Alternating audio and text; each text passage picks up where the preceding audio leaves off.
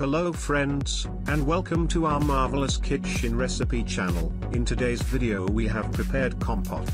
Kompot is a non-alcoholic sweet beverage that may be served hot or cold, depending on tradition and season. It is obtained by cooking fruits such as strawberries, apricots, peaches, apples, rhubarb, gooseberries, or sour cherries in a large volume of water, often together with sugar or raisins as additional sweeteners. Sometimes different spices such as vanilla or cinnamon are added for additional flavor, especially in winter when kompot is usually served hot. Kompot is popular in Central and Eastern European countries as well as in Scandinavia. The kompot we are making today, will have some plums, apples, pear, also we will need sugar, and water. That's it. Add all fruits in the pot, add few tablespoons of sugar, and cover it all with water.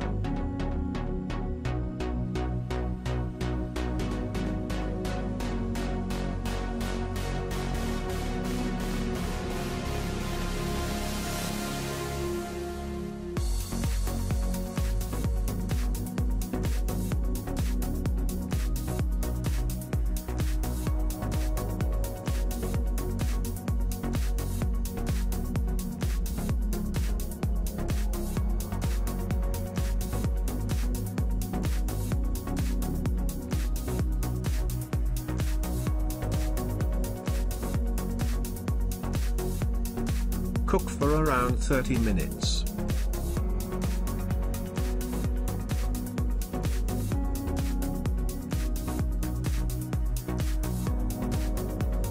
Serve in a beautiful glass. Now you can add some lemon, vanilla, or cinnamon. Serve it cold, or hot, as you like. Thank you for watching, we hope you enjoyed learning how to prepare this delicious kompot.